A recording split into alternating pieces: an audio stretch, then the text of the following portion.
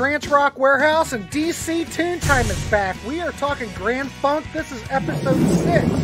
We are looking at the Red album, ladies and gentlemen, so let's get started. Talking bands no one talks about. Grant's Rock Warehaus. Welcome to Grant's Rock Warehaus, and we are live. And I've got DC Toontime in the in the uh, co-host chair. We are at number six in our Grand Funk series. Now, DC and I have talked about this before. It's hard to believe we're doing six episodes of this, but what the hell? We're we're on episode six, and there's been a lot of uh, people saying, "When are you going to do that Red album? When are you going to do the Red album?" Well, ladies and gentlemen, that day is here. So I want to thank DC for coming on. We're going to have a general discussion about this. Uh, but first, I want to look at some comments because we've had a lot of comments already. Um, Sweet FA24, he gives a middle finger salute to the Rock Hall for even cons- not considering Grand Funk. Uh, They've never been nominated, have they, DC? Nope.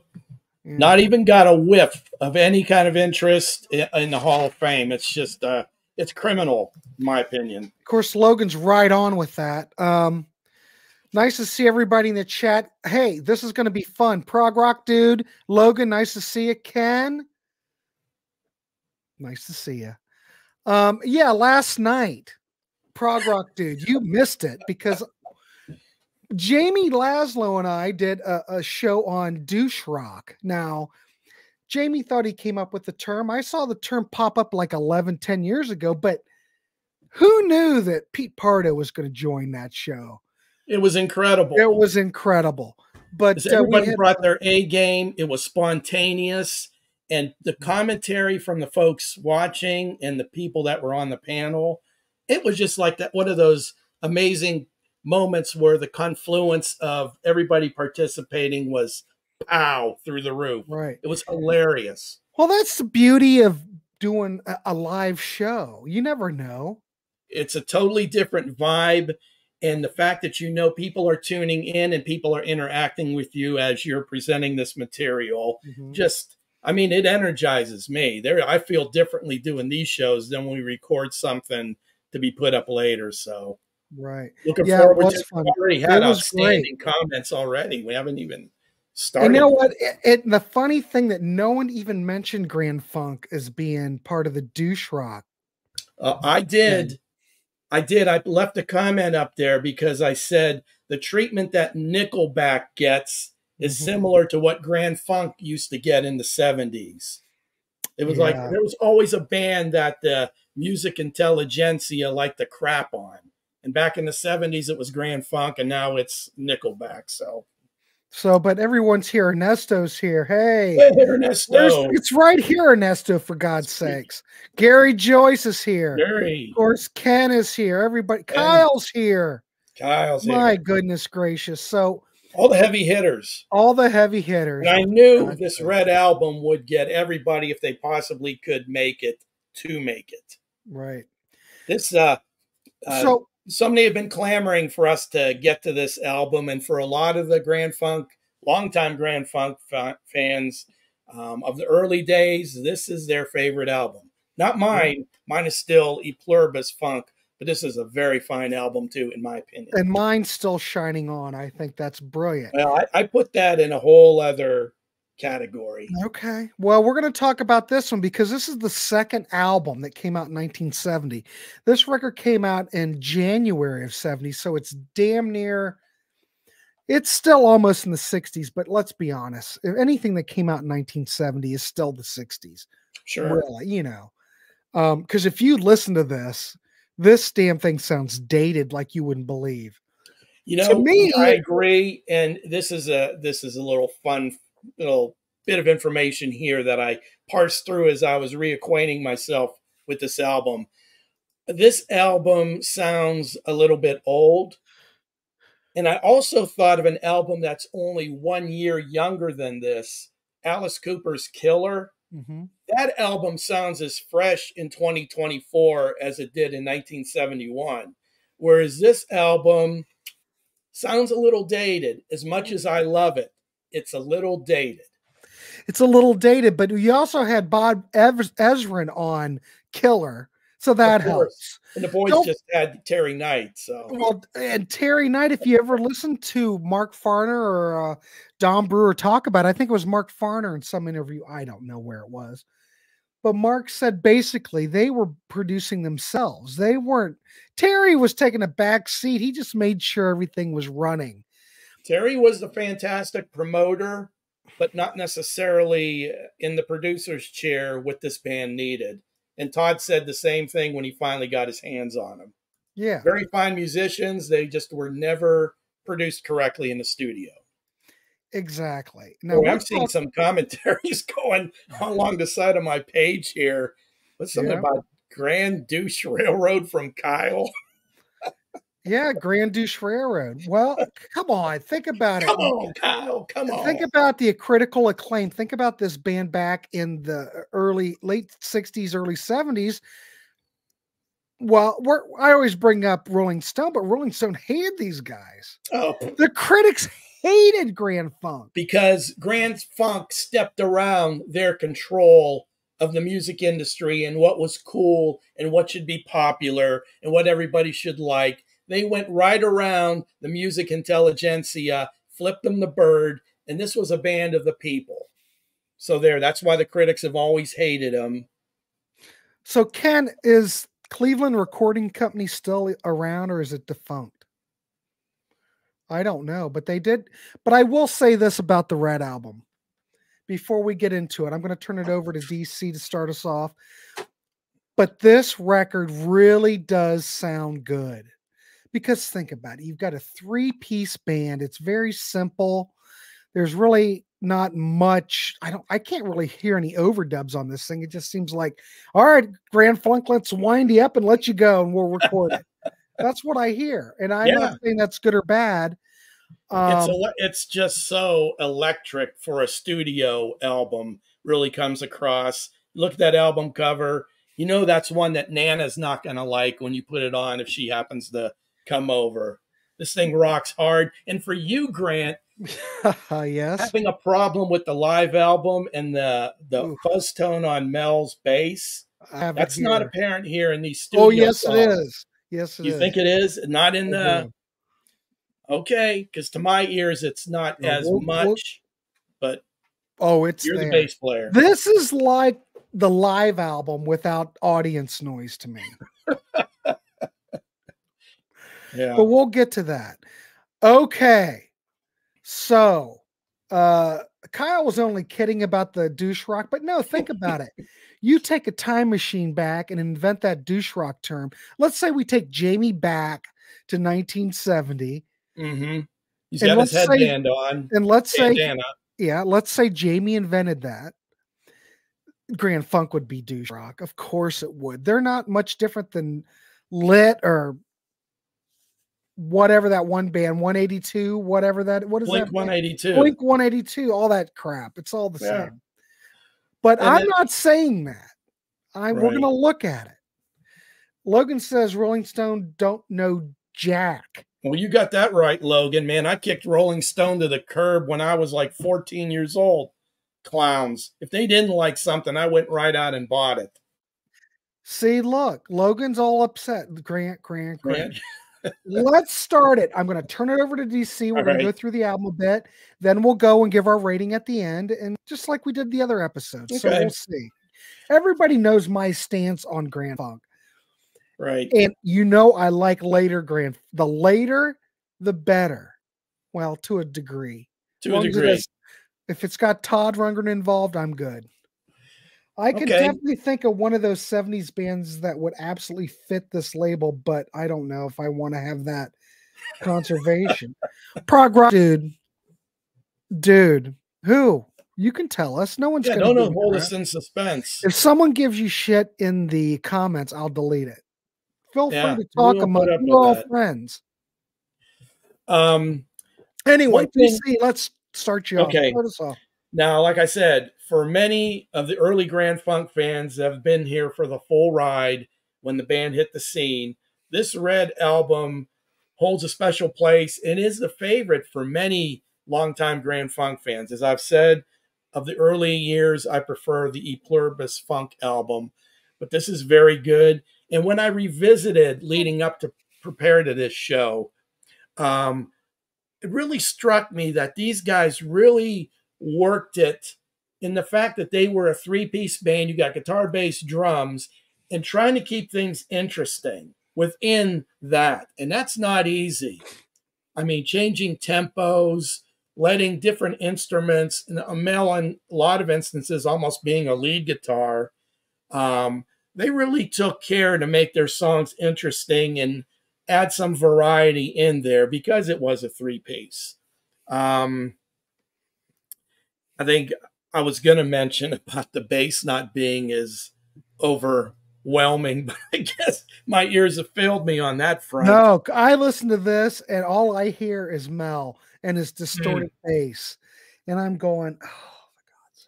But I mean, the tempo tempo changes that they do, the uh, Mark switching off from guitar to keys, the harmonica, Mel coming forward with the bass lines. Um, they re- really made the most of a combo of 3 mm-hmm. We still don't get very much Don Brewer on vocals here. In fact, no lead vocals for Don, sadly. Yeah, and that's what I like. I like Don. And there's mm-hmm. very little Don other than maybe some backgrounds. This is the Mark Farner foot stomping show, ladies and gentlemen. Showcase for Mark. show, showcase for Mark. Um, we can look at the songs and I'll yeah. give you my two cents worth. And Grant, you could chime in and I tell will. me where I'm wrong. No, no. Okay. I have to calm down on this episode because I don't want Craig Frost. We miss Craig Frost on this. Yeah. Um, I, there's there'll be one song in particular I'll bring up a little bit about okay. Craig Frost. But here. Craig, I think, was great. I think when they brought Craig in, that was a game changer. When he came in on Phoenix, it was they like needed to fresh air. I think they had gone as far as they could as a threesome, mix things up as best they could, and still be able to perform most of these songs in a live setting. But they that's as far as they can go. So they needed to add another guitarist or a keyboard player. Yeah. But uh, let's look at uh, first song side one. Yeah. Got this thing on the move, and man, this just kicks right from the get go with that rip roaring start. Dare I say, a foot stomping guitar riff from Mark. Uh, and the yeah. second riff that follows in that song is even more kick ass than the first one. And at one part, part you know, point in the song, the guitar mm-hmm. pulls away and Mel takes over with a really driving bass line behind Mark's vocals. And they build with a crescendo, and Don's drums pound out a deliberate rhythm while Mark plays lead.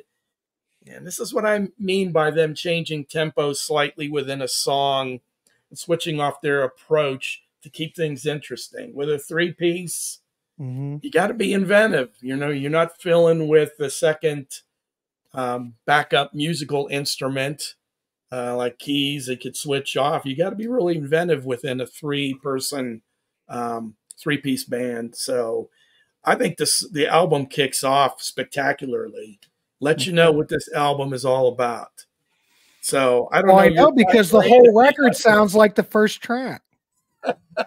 they could have ended it right there, and as we could have saved a lot of vinyl if the single, put out, got this thing on the move, and then put "Don't Please Don't Worry" on the flip and call it a day. You're good. We would have saved a lot of vinyl. Wait a minute, yeah, wait a minute. Like, I hung onto a Gibson EB2 because it had kind of sound that Mel's bass had. Well, yeah, but you had like that big mudbucker neck. I don't know how Mel pulled this off on a precision, but he did. We need paranoid and inside looking out. They were a long time in their live acts. Yeah. Yeah, definitely. Mm-hmm. Look, Logan's um, giving me another grant, grant, grant. what Ken was pointing out, um, and I'll reiterate. Go here, ahead. Go ahead. The, those three songs that are on this album that also appear on that first live album. Mm-hmm. I never go to the versions on this album if I want to listen to those. For me, those live versions completely outstrip the studio versions of these songs. So right there, there's three songs on this album that I prefer on the live set much more than here. Oh my god. oh my god. That is a sacrilege. He is a douche. Uh, I what I hear. vehemently disagree. I don't know. I'm just going with what people are telling Oh, me. I've I've had enough interactions, not personally, with Farner to know that he is not a douche. Okay. But hey, you may have run into him at the feed store or something, and the feed store when he's getting feed. he lives up in the wilderness. I know. Uh, well, record collector, that was funny. I appreciate that. anyway, go ahead, DC. I, sorry to Okay. interrupt, but you know we are live and we are just kind of We're just letting the conversation go, we're folks. letting it go. Please keep the comments coming. We love this. Um, the second tune, please don't worry. It starts with like this jazzy riff, and then it settles into kind of like a bluesy tune. And uh, Mark and Don do share vocals on the chorus back and forth. Agreed, Logan.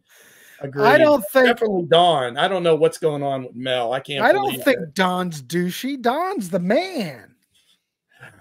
Anyway, go Uh, uh, well, we won't get into those weeds at this point. Um, there's really nice lead work by Mark on uh, this. Please don't worry.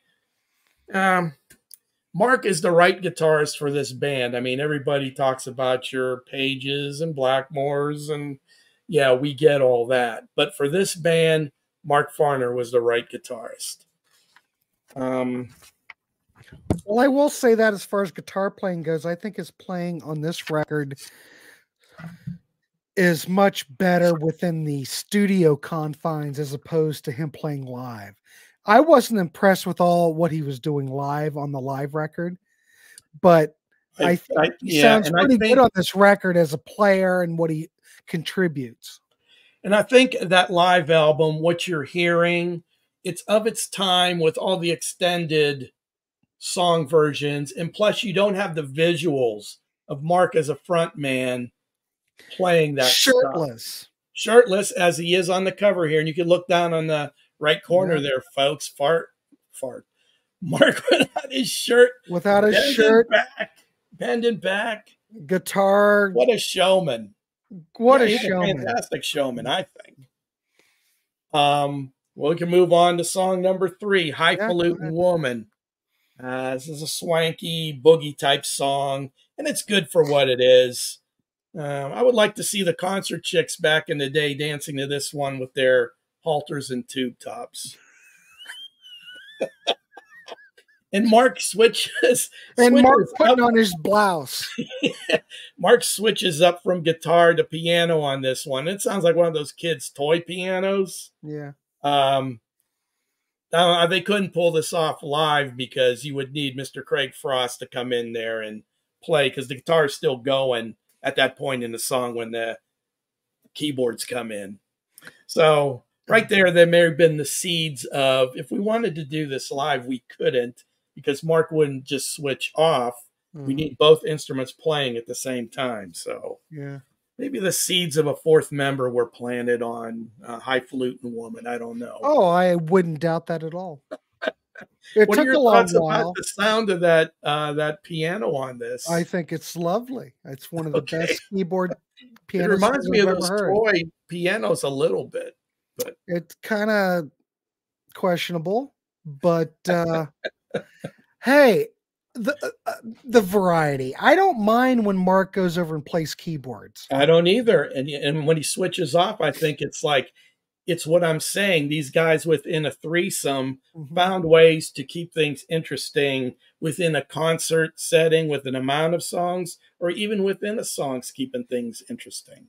Yeah, I agree. I don't really, you know, might have kind of a rinky dink sound, but I think maybe that's what they might have been going for. Yeah, I'm I sure don't know. I haven't read anything about it, but hey, it's effective. It works. I don't have a problem with it. Mm-hmm. Uh, now we get number four, and it's Mr. Limousine Driver. That's a really catchy riff by Mark. Mm. He's singing about all the hassles, folks, of Mm. catching a limo after the show Yeah, it's when you horrible. also want to entertain a hot groupie in the back seat. And I'm sure we can all identify with Mark's plight here, can't we? Are you saying that Mark wanted to get laid? Is that what you're trying to say?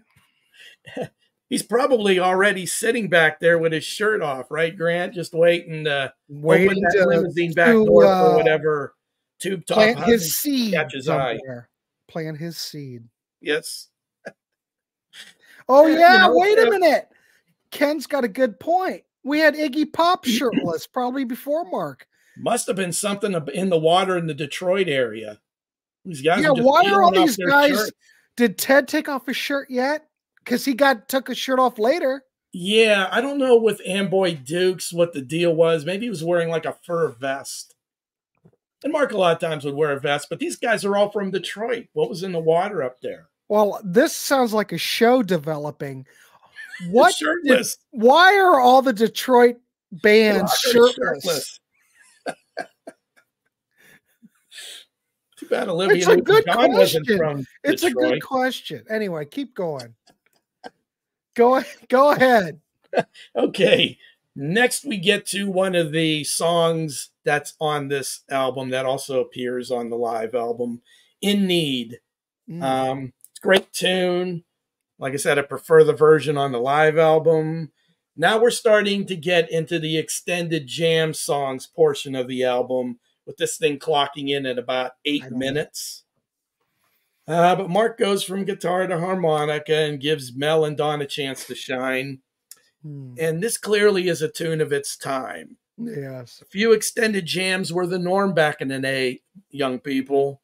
They were expected and people dug them.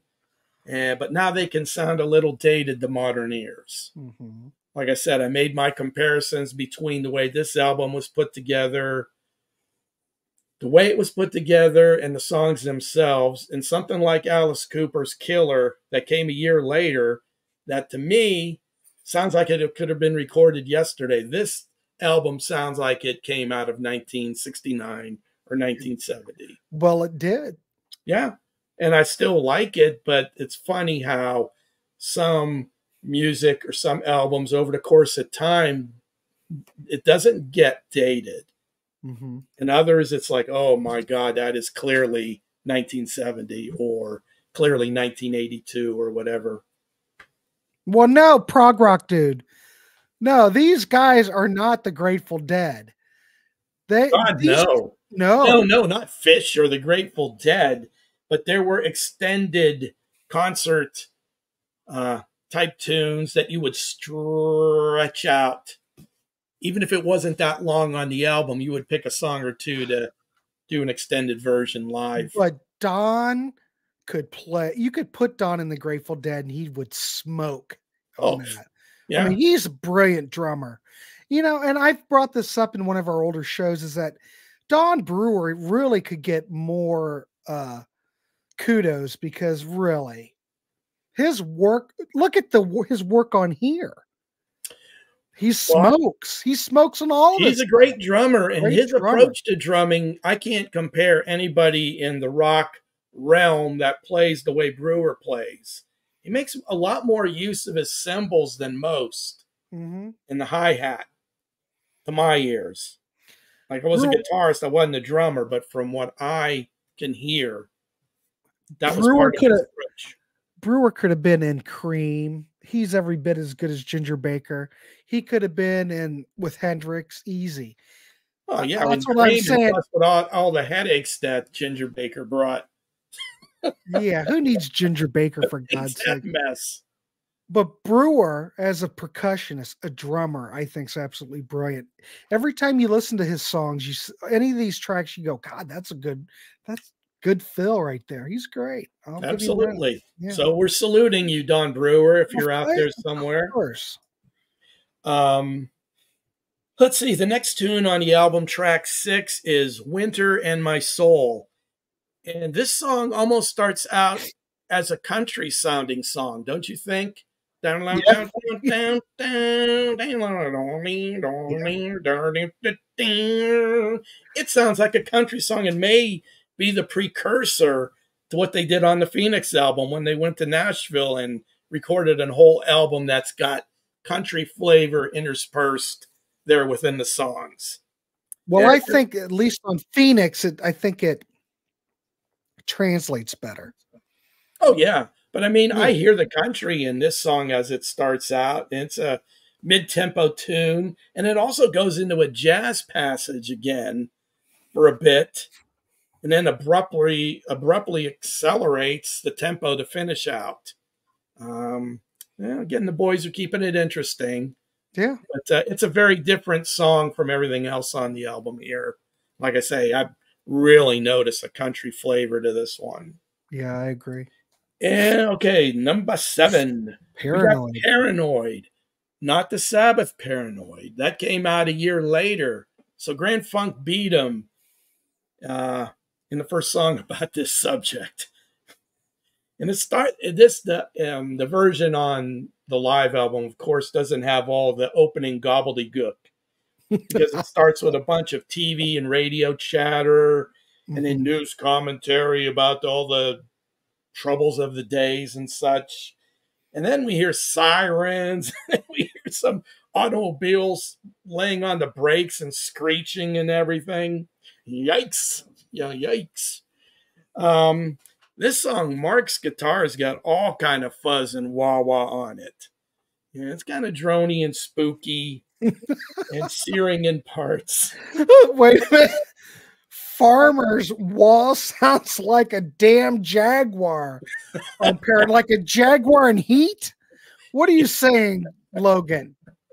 He's got the fuzz and the wah wah going big time. Yeah, it's kind of annoying, but then you also yeah. have the fuzz on uh on on the bass, and that drives me crazy because I don't why are we cranking shit so loud that you have to have fuzz bass? I don't know. That may be the one misstep with them having a three piece and wanting to just project so much sound and music that they went a little overboard with some of the uh, extras that they added to guitar and bass.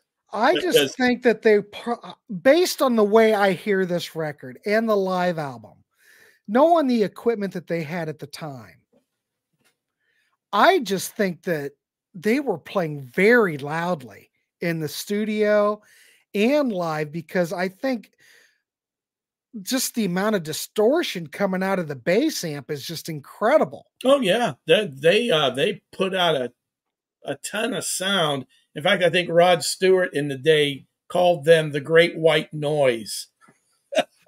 uh, Grumpa, I think the fuzz bass is annoying unless it's like a little fuzz bass doing it, then he knows how to do it. But I don't dig what Mel's doing. Yeah, back in the day, I I loved my combo fuzz wah wah pedal. Fuzz and wah wah, yeah, Kyle, love it. And to the uninitiated, you play an electric guitar, but then you plug in your fuzz and wah wah, and you appear to be ten times better. To the uninitiated. And everybody in the chat, bless you for chiming in. If you dig it, I'm good with it. Me, I'm much more of a purist. Yes. And you know that fuzz bass just doesn't unless Geddy Lee's doing it or Chris Squire. Those guys know how to do it.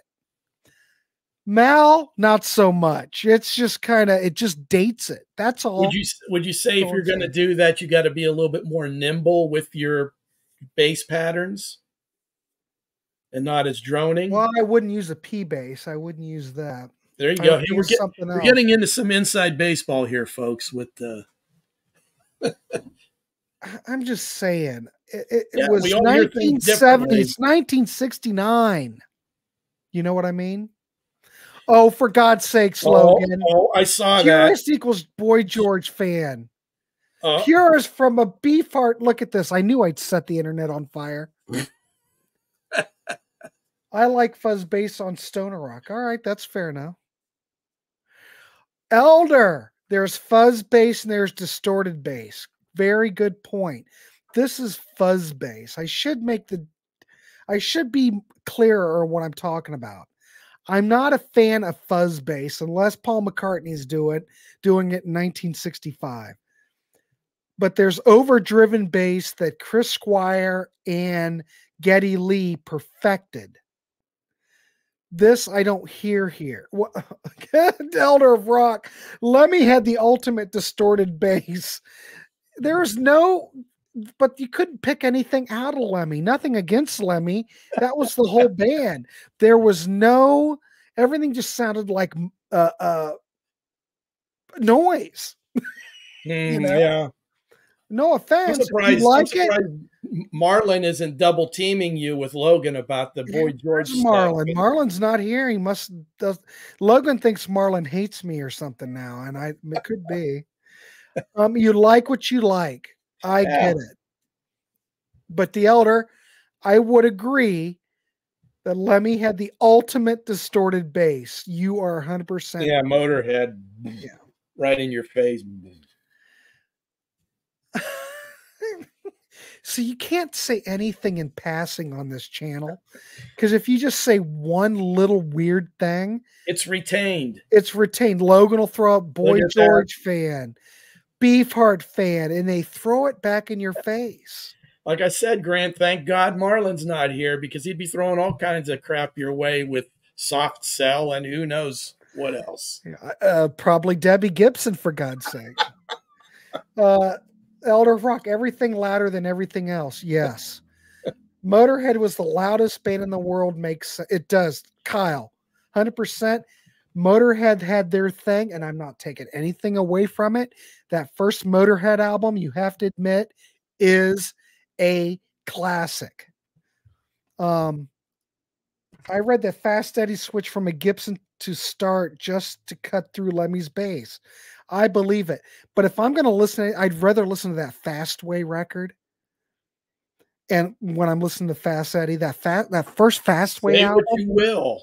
Is great. Oh, You yes, have to sir. admit. Ken, Ken White, think Marlon Marlon, Marlon doesn't like anything. I Truth be too- told, I don't know what he's doing. the biggest curmudgeon in the warehouse. Marlon's probably cleaning his. He's probably washing his dentures in the sink tonight. He's probably busy. I wish Marlon was here. I really need his input. We sorely miss you, Marlon. We wherever do. you are wherever you, Fastway is killer. Yes, Fastway fucking ruled. I agree. Yep. Grandpa Marlon. I love Marlon. Don't get me wrong, but I wish he was here tonight. Yeah. I Well, love this bullshit that he's going to contribute. Marlon only likes assault attack, nothing don't bring, else. don't bring anything remotely soft to the conversation because Marlon will shoot you down like right like that. Right. But it's funny. He doesn't mean it ill mannered. he's He's passionate and we love that. Right. Everybody's passionate about music that's Elder here. of Rock. The second Fastway wasn't too bad. I'm just thinking maybe we'll do a Fastway show because those records probably could. I think we could look at those again. Anyway, Yeah. Put that on the We're- board. ladies and gentlemen, we're on a tangent again. but this is why we do leave these live shows. It's fun. We're we shooting let the conversation go Right. where it goes. So, DC, we talked about Paranoid. What last track, Inside Looking Out? Any thoughts on that? Oh yeah. I mean, and to finish off with paranoid, if you're not prepared for that baby crying at the end of the song, you just might Right. poop your pants a little bit. Like you think the song's over and this baby just starts wailing at the end of the song. It's like, wow, Yeah. took me by surprise. But uh, inside looking out, of course, this is that uh, old Eric Burdon and the Animals tune, but Grand Funk makes it their own. Note to self: don't play Marlon any. Ooh, do that- do no, don't play rock Marlon tune. any Simon and Garfunkel. Oh, No. somebody Trick or in the treat. Trick or treat. Another good one. We need to look at Fastway, I think, because I go. think no one talks Fastway. So there. Nope. Anyway, keep going. Sorry. Okay, getting back to Inside Looking Out, this was an Eric Burdon tune that Grand Funk made their own. The Eric Burdon version pales. Pales, he said, in comparison. Mhm. Far outstrips the original. And I have to say, Grand Funk was really good at picking cover tunes and putting their stamp on them. Now, from Survival, they did Gimme Shelter. Mhm. That is a fine version of that song. And it's Do you Well, let me They're ask you about that real quick. You mentioned "Give Me Sure. Shelter." How do you compare that to the original version? Do you think the Grand Funk? We just, I just did a show with John the Music Nut where we looked at Linda Right. Ronstadt, and we're talking about "Simple Dreams." We're talking Mhm. about that 1977 album, and on that record, just I know we're not talking Linda Ronstadt, but it's on my mind. Sure. she was able to take like a lot of these Warren Zevon songs and totally make them her own. Now, on the Mhm. previous record, we didn't find that so much. But do you think that Grand Funk was able to take Gimme Shelter and totally make it their own? I mean, that's quite a statement. But do you well, they put they were they, they put their they put their stamp on it, and it's clearly a different version of the song. I won't it would never say it was better than the Stones version. Well, I don't think I can say that. uh, of. It's their stamp where it's inside looking out. I can say that is clearly a better version than the Eric Burdon version. Okay. Well, like Um, with the Linda Ronstadt stuff when she would do Warren Zevon, I'm not necessarily saying it's better, but I think some of those versions that she would do and the Buddy, Ho- I can't think. Uh, was it That'll Be the Day? That'll be the day. uh, I think people tend to think that that's the best version, and people kind of forget the Buddy Holly version. That's Mhm. kind of what I'm saying, and I think that when she Yeah. did like "Poor, Poor, Pitiful Me," yeah, probably music people really know that that was a Warren Z- Zevon song, but sure.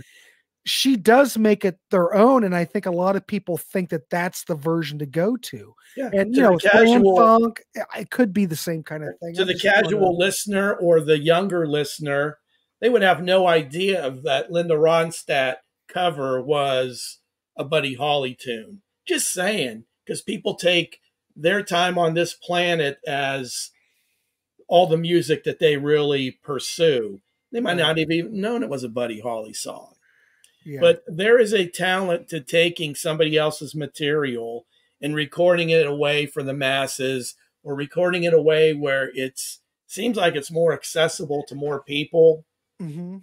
Like Three Dog Night made a career of it. Those guys never wrote any of their songs, but they were so gifted in picking tunes.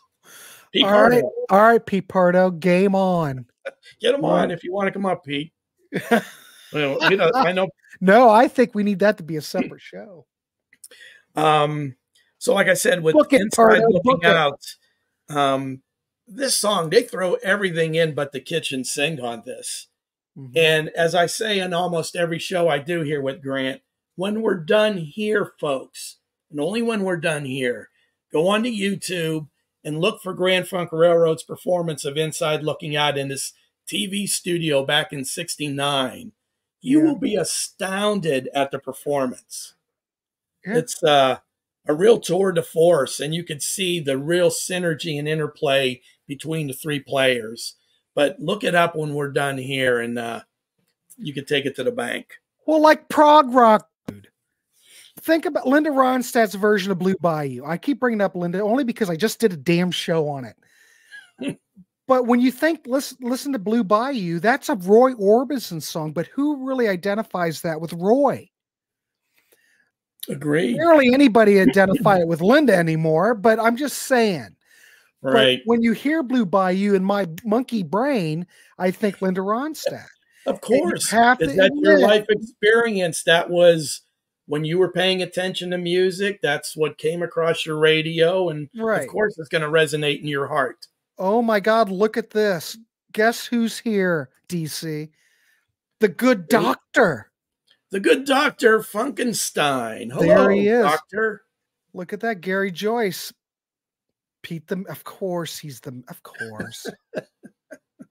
Wait a minute. This is another good point. I know we're on a tangent. Hell, so many people to this day thinks Jimi Hendrix wrote all along the watchtower. But if Folks. that's a good point, there. I'm sure Pete's probably done a show on it about artists and bands that have done remakes and have totally hit it out of the park. And this is when you're thinking all along the watchtower, no one wants to hear the Dylan version. No. Tangled up in blue. I'm That's something that saying. me and Pete agree on. Yeah. Dylan, great songwriter. You're never going to win me over as a performer. Oh, the Grand Oh, Funk Grand- show Grand- on SOT is going to happen. I can guarantee you. Um, Pete trying to horn his way on again. The elder. That's funny. No, uh, he he doesn't need any help. That's a good. That's funny though. Um, Absolutely. let me look. But people, anyway, go uh, ahead. Sorry, we're on a com- in the tangent. comments, folks. You all know that we are a very small subset of the general population. Right. Number one, for people to be as passionate about music as we are, look in your life. How many other people do you know that are as passionate as you? If you're lucky, you have one or two other friends that love music the way we do. People don't pursue this stuff. They don't even care who originally wrote the song. If they recorded it in their minds, they wrote it. That's as far as it goes. Right. I mean, when I think of the Rolodex of decks of the people in my life currently, there's nobody that I interact with on a daily or weekly or monthly basis that loves music and gets into the minutia of it like I do. My wife loves music, but she's, you know, she's not going to tell you, oh, so and so wrote that, but they didn't record it or whatever. My We're a very small subset, folks. My thing. Oh, there they're working. God darn! There I thought go. we had a problem. Um, the good doctor owns no Grand Funk. He probably should explore. Well, you should see our other. Sh- All right, good doctor. I know you're back in the in the show thing now. D- this is part six of DC. We've done six shows on Grand Funk. Before you start out, go and review those shows that we've already done because I think uh, I'm not sure if this is really the record you want to start out with. Young Logan may think so. Pete Pardo may think so. but me, look at the Todd Rundgren stuff first. That's where I'm going to go with. So yeah, I uh, know Dr. Funkenstein obviously loves the funk. And the mhm. true funk and Grand Funk Railroad, I mean, I hear some of it in, on Shining On. Maybe that's where he wants to start his musical crusade. See, we're we're like doing a show off a show now. Judas Priest, Green Manalishi, though I love the uh Fleetwood Mac version. But did Judas Priest make this? Yes. I But think the- it brings the power and the grit much more than the Fleetwood Mac version did. And it seems to suit the actual song better, I will say. There you go. Ken White bringing it in. Joni Mitchell wrote Woodstock. CSNY was good, but Matthews Southern Comfort was the best, and I disagree. I still think CSNNY's version is perfect. But you know, Ken, I don't. I'm not worried. I can. I can. You know, take your comment and disregard it. I'm afraid of Marlon. You, I'm not as afraid of. So I'm all right. You know, slamming you a bit. Grant, I think Just you joking. or I or both of us were just labeled a monkey brained clown by young Logan. Well, he's young, and I am a monkey brain clown. Anyway, have to have a little talk with him tomorrow morning before prog rock dude, same thing with Black Magic Woman. Yeah, You Oh, look at that of songs. Santana version, fucking Yeah. kills it. yeah. You can even take Grand Funk with with uh, the locomotion. There are people that think that that's a Grand Funk song, and a lot of it depends on your age, you know. But it's it is what it is. I, may may be one of you Grand Funk fans Okay, go ahead. Ooh, read it. go ahead and read it. are- Who like their 80s albums. Grand Funk Lives is pretty decent. What's Funk is definitely a product of its time. However, Life in Outer Space is one of their best. What do you think Uh, of I the, it. George. I Zappa gotta record, step away there. Grand Funk Lives is the better of the two 80 albums, but that What's Funk album, No. there are maybe only two songs on that that I. Does that mean we should look at what's funk next? Well, I think we should just package those two 80 albums as one show. I don't think they deserve Well, separate commentary. I think me. we're going to look at the Zappa album next anyway. So Yeah, I got a list of what we've covered and what we haven't covered. All right, trusty. Yeah, Ken, I was just give I was just rounding you up. You know I love you. I'm just it's all in good fun. But I am scared of Marlon. I really am. You never know. Marlon could go off. You don't know what he'll do. Well, sensitive. Yeah, you got to watch. You, got to watch, watch, your back. Thank no God soft I... rock back in the warehouse. Mm-hmm. Uh, uh, Star tried to put on some top forty to a station, Look, and Logan digs this. Logan digs this track. He likes this record. All right. See, it's, we all hear Liv's, everything. Lives album has probably got half of it is very good, and the other half of it, it's just not the grand funk that I love. All right. And then the second 1980s album, the only thing I really like about that is the lady in the bathing suit with the jumper cables on the cover. Hey, you know, and there is something about women with jumper cables. I don't know what it is. Yeah, it's a thing, isn't it? Well, it could be. Grand Funk's version of Gimme Shelter has an angry vibe to it, while the Great, Stones Brian. version seems somber. Interesting. That's yeah. That is, a, you, that is, a, very interesting point, Brian. Hats off to you, man. That's that's God exactly. God. These people that watch this damn show are smart. We got the we got the best viewers. Well, Pete's got a solid cast too, and the Contrarians, but we've got a good group of folks that tune into these shows and very mm-hmm. astute observations. So, anyway, all right, before I give my thoughts on it, I do want to hear your synopsis at the end. So, uh, DC, I'm going to, what is your whole thoughts on this record and what would you rate it? This album has lots of tunes I really like. I would say half of them iPod worthy. Three of them I like better live than these versions. Overall, I would give this album 8.5 only because in some ways in my 19 in my 2024 mind it sounds very dated to me. Right. Whereas like we pointed out there are other albums of this era that do not sound dated and that's a little bit of a strike against it but i still think it brings the grit and power of grand funk and I would put it up there as one of the better earlier albums. Like E Pluribus is number one for me. Red, maybe number two. And we're not counting the live album because that's probably one of my well, that's probably favorite live album in my music listening oh, history. and that that live, that live album is like needle pricks on the brain for me. it's just like too much because it doesn't stop. It's just it just goes, goes, goes. Now, if you listen to that album and break it up into sections, it's just it just pummels you. It pummels. It doesn't let up, I'm Grant. Tired. I'm tired. I know it could be exhausting. All right. So this record, I look at it.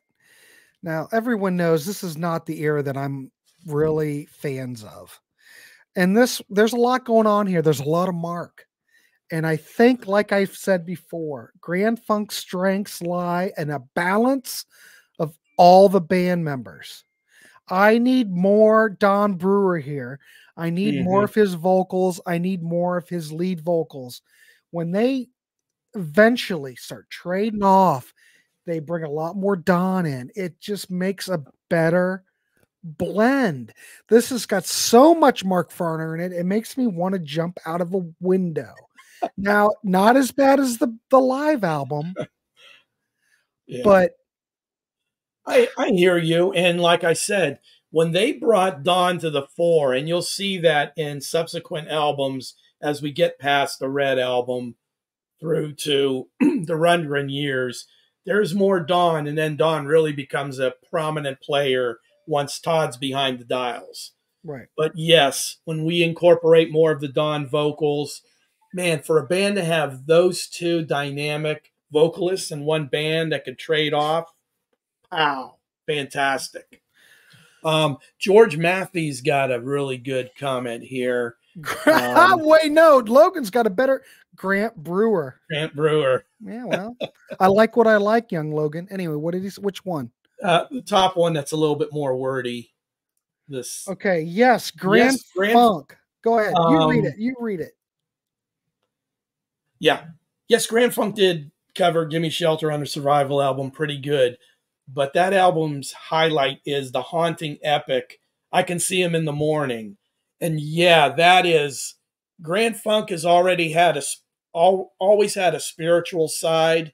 That's a Don Brewer tune there. Normally the spiritual content came from Mark, but I could see him in the morning as gospel mm-hmm. practically.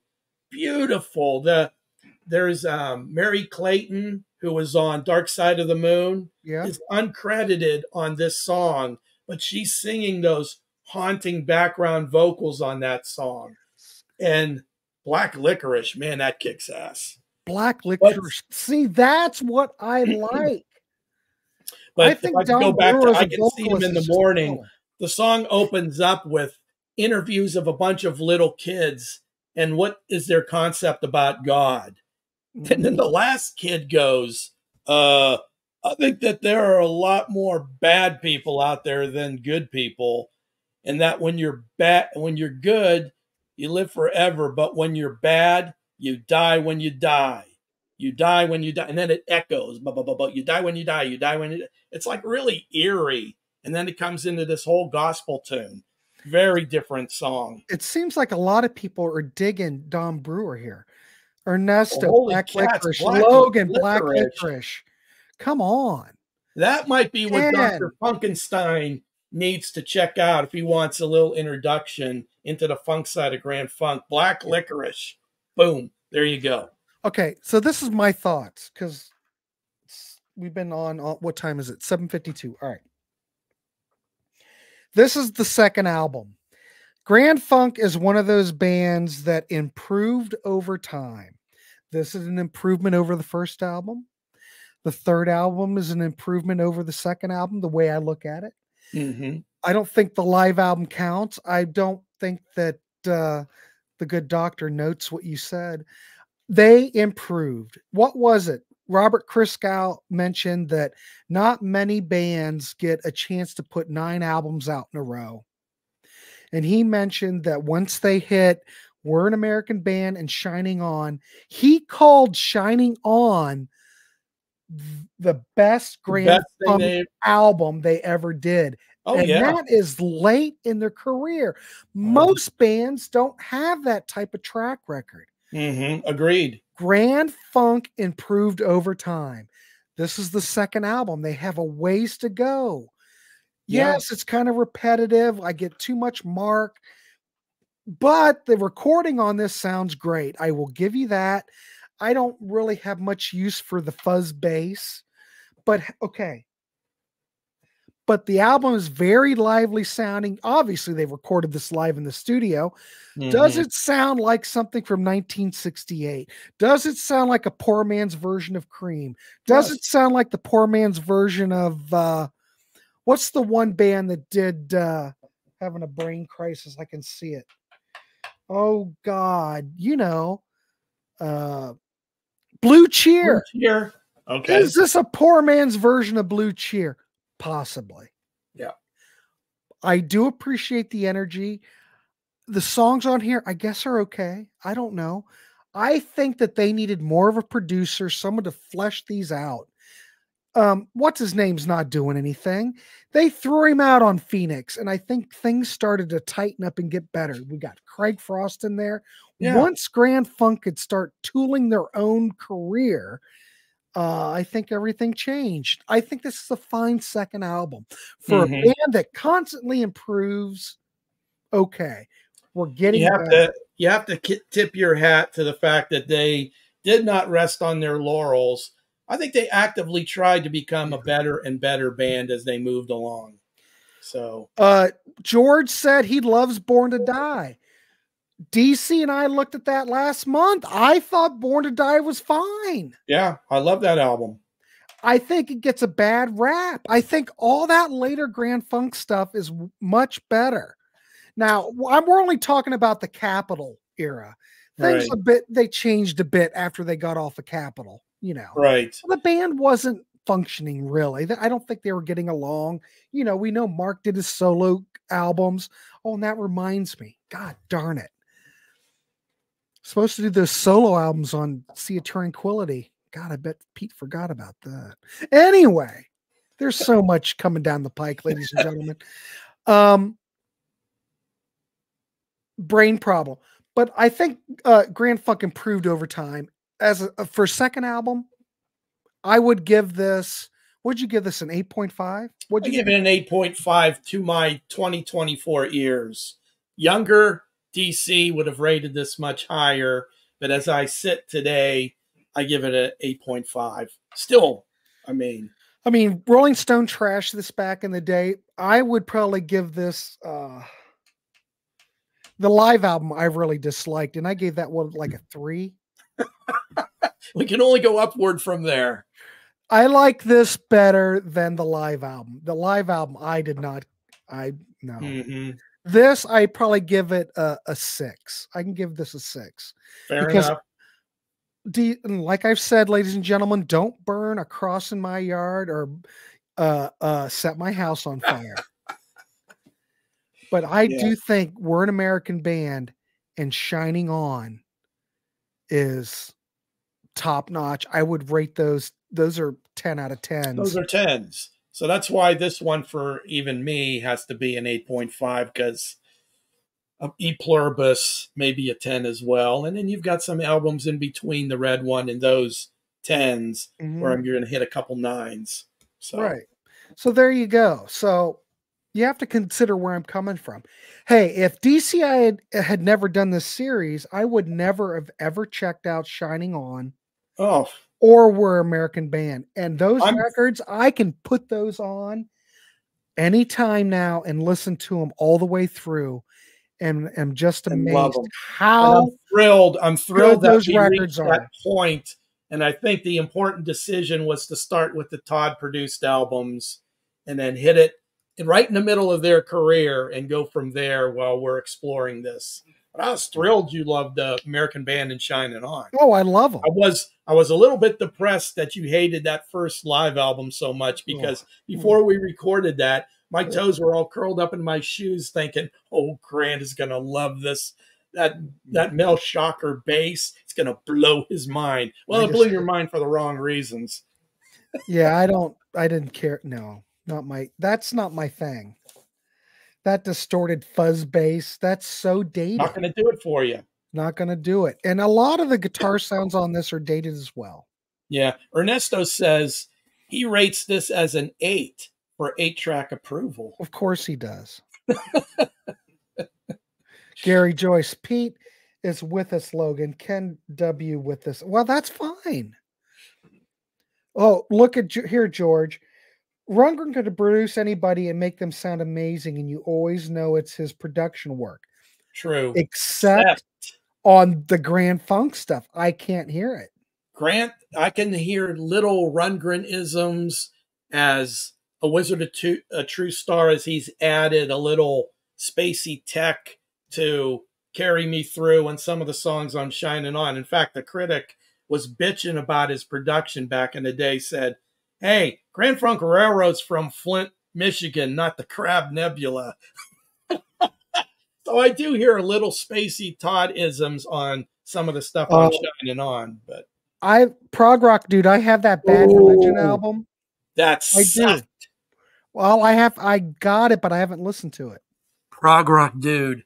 That is the one Rundgren production where I could not even listen to that album. That Bad Really? Religion album he produced sucks. I can't even listen to one song. Awful. I haven't heard it. I've got it. Have to hear it. So Uh, you are not going to like it if I know anything about you, but maybe I don't. wait a minute. George says there's nothing like the late '60s and '70s production. It's so raw and fantastic. Well, yeah, It is. it is. But I think DC had a good point. Think about the records that came out at the same time. Killer came out around the same time, but it sounds way more advanced than Yeah, it just sounds the fresh. Red album. Yeah, It, yeah, it's all good. it's all Listen good. to what you love. Don't ever apologize for it. Yeah. And I think this is okay record. They're getting better. They're getting better. I guess the the lead singer on Bad Religion was a huge Rundgren fanatic. Boy, you can't tell from listening to that album. There Yeah. is nothing that says Todd Rundgren on that album. God, look that one got, went got, right into the dumpster. I didn't Look- even try and resell it. I slammed it in the garbage. We've got a lot of Facebook likes. Dave Lubin, Todd Evans, Mark Woljan, Marco, and a lot of people watching right now. I do want to thank everybody for and, tuning and in. again, folks, thank you for your awesome comments. They really spur the conversation on, and I so enjoy hearing and reading what everybody thinks. Yeah, so it's a lot of these shows are in good fun. Yeah, don't get upset, folks. Hey, we're big boys and big girls in the Warehaus. Someone doesn't like exactly what you want, you got to roll with it. Well, I got to be honest in this stuff. You got to be think, honest. That's what we want. We want honest reaction and opinion. And like I said, you have to hand it to Grand Funk. They improved over the time with each record. Yeah. Based on what I've seen, I haven't heard them all, but I do think that they've improved over time. And you know, well, heck, you're all the girls in the world beware. I think's a fine record. You're pop rock and that turned off a lot of the old time Grand Funk fans because they just looked at that album cover and even give it a listen. But right. I love it. I was with this band for the whole ride, and yeah. their different versions and the different directions they took in. I was agreeable with all of them. I liked all of them. So there but, you I mean, go. We've got about five or six of these albums we haven't touched yet. And there are some that I think deserve a full show and there are a few of them I think we could just group them together. Okay, what? Well, what we need one for real, real quick before we wrap it up. We uh, still we still have not touched closer to home, survival, Phoenix. We kind of did American Band, but we really didn't. Well, that's kind um, of group. We could singing, do, good playing with Zappa. Well, give me what you want. I have. We could. Do, I would. I think we we should tackle one of the earlier ones and then jump to Zappa. Why don't we do uh, Phoenix? Let's do Phoenix. Okay. It's oh, I'm making a funny here. It's an odd bird in their catalog. Phoenix, right. Rising Phoenix. All right. I want to thank everybody for coming on. Stay tuned for next month.